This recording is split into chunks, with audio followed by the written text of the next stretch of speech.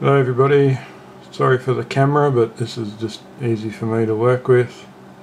Um, one of the biggest questions that I get is, or and that I hear is, why does my wideband input not match what the meter is showing? So I thought I'd just do a quick video showing the way that I calculate and it's fairly easy. Um, calculate your input to what it's supposed to be. So first thing that I do is get your um, formula put into your ADX file.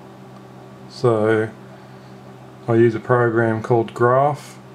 Um, I'll link it in down below. Um, so once you've got Graph installed, it's free download, you'll get this screen up. You can hit F4 it'll bring a screen up. Basically you got your X and Y column. Um, so so in the X column you can fill in your uh, count level. So so on uh, pin B10 on enhanced mod on a VS ECU it'll be 0 to 255 counts for 0 to 5 volt input. So you put 0 to 255 and then say if you're using the default which is probably um, 10 AFR for 0 volts and 20 AFR for 5 volts you put 10, 10 to 20 in the Y and then you hit OK. Now when you roll out this will give you a dot marker. Next next uh, thing that you'll need to do is hit the graph line, insert a curve, and of course it'll be a linear line. You hit OK. This will give you just a weird plot really, which is your linear line. But the thing that you want to get is go up to your corner up here, get focus, and right click on the bottom one which is your line and hit edit. And this will basically give you your equation to the dot. If you want to get accurate your linear equation to match. And that's that's all you got to do. So you don't have to muck around with trying to get it to match up.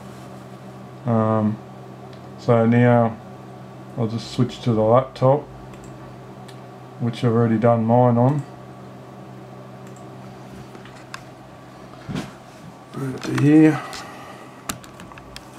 So just to show you how to check it that it's actually giving you what you're asking for, or what the wideband um, what your wideband kit is feeding in what you can do is overlay the two so if you edit your ADX file uh, where's my mouse? Go up to here. Yep that's fine.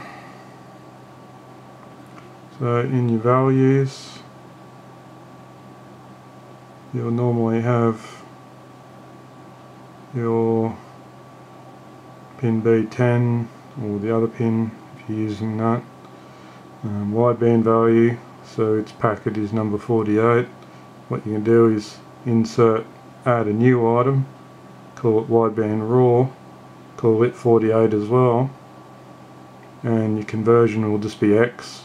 So that means that it'll give you the 0 to 255 output. So you want to set your range on there as well from 0 to 255 then you set your wideband up obviously so you use the conversion that you got from the graph program and put that in there. And you obviously set your range up. So for mine here I've got 11 to 17 so then you can go back to your graph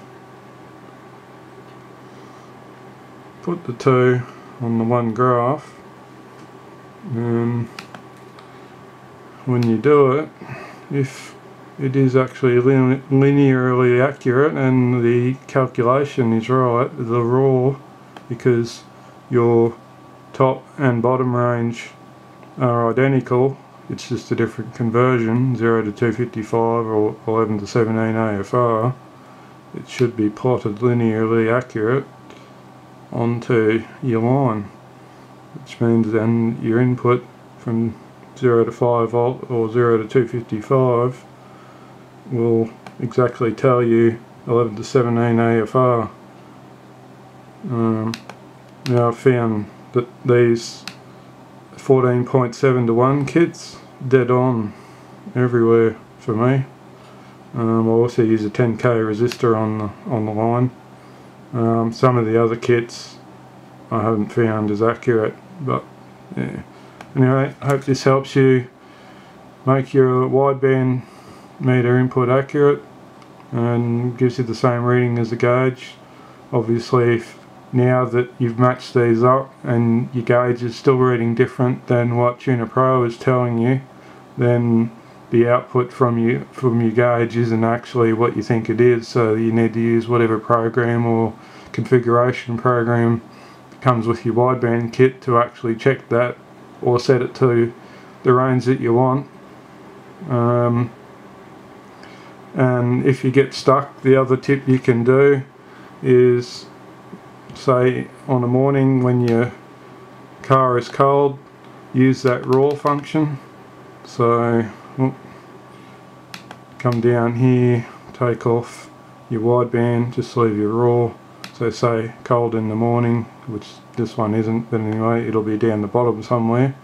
So um, full lean it'll be whatever count which will be your highest.